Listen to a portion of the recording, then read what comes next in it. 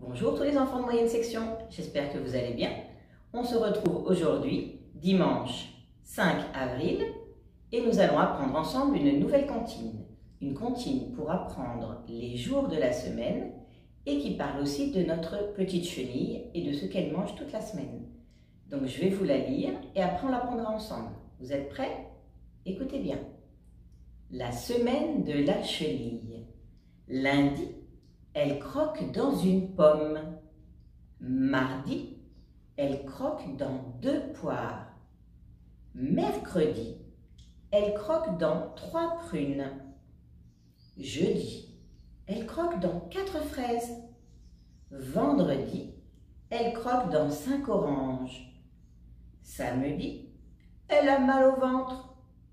Dimanche, elle croque dans une feuille.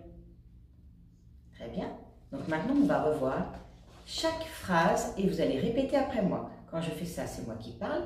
Quand je fais ça, c'est vous. Vous êtes prêts? La semaine de la chenille. Lundi, elle croque dans une pomme.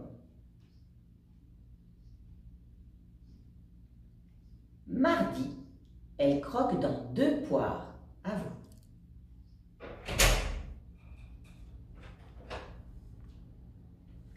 Mercredi, elle croque dans trois prunes. Très bien. Jeudi, elle croque dans quatre fraises.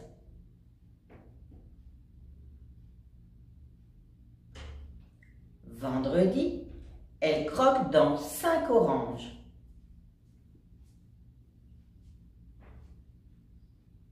Samedi, elle a mal au ventre.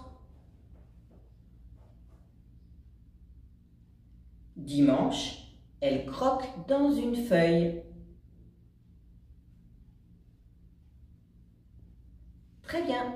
Donc vous allez répéter cette comptine plusieurs fois et vous allez la refaire tous les jours de la semaine jusqu'à jeudi, jusqu'à temps que vous la sachiez par cœur.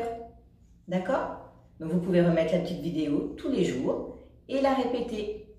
Donc euh, bon courage et puis comme ça vous connaîtrez tous les jours de la semaine et parfaitement notre histoire de la chenille.